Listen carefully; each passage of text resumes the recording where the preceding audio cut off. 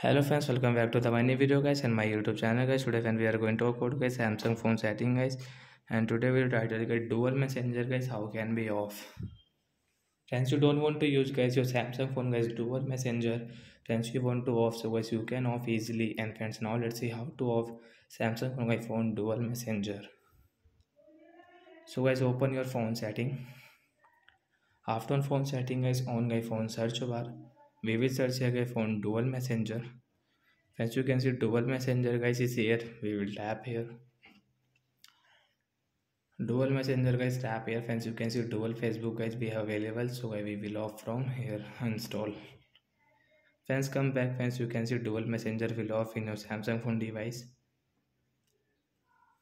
So like that guys, we can off guys Samsung phone dual messenger. So bye guys. I hope friends you understood how to off Samsung phone dual messenger. So bye guys, thanks for watching the video.